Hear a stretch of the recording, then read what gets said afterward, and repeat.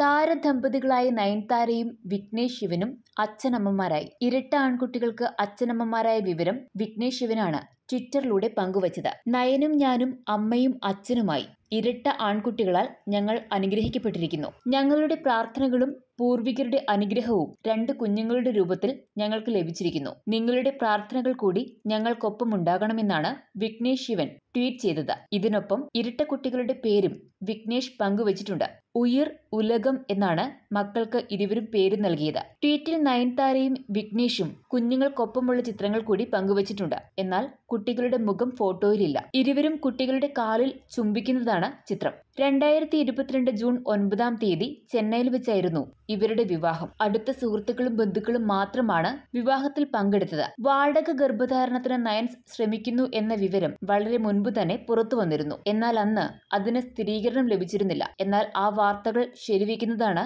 ഈ പോസ്റ്റിലെ ചിത്രങ്ങൾ. നയൻതാരയും വിഘ്നേഷ് ശിവനും ഹണിമൂൺ ആഘോഷിച്ച ചിത്രങ്ങൾ പുറത്തു വന്നിരുന്നു. അതിനുശേഷം ഇരുവരും വെക്കേഷനു വേണ്ടിയും വിദേശയാത്ര നടത്തി. വിക്കിയുടെ പിറന്നാൾ നയൻസിനെയും കുടുംബത്തെയും കൂടെ കൂട്ടിയായിരുന്നു ഇക്കുറി ആഘോഷിച്ചത്. എന്തായാലും അടുത്ത പിറന്നാളിന് നയൻതാരയ്ക്കും വിഘ്നേഷിനുമൊപ്പം മക്കളും കൂടിയുള്ള കാഴ്ച കാണാനുള്ള കാത്തിരിപ്പിലാണ് ആരാധകർ. News desk one India Malayalam.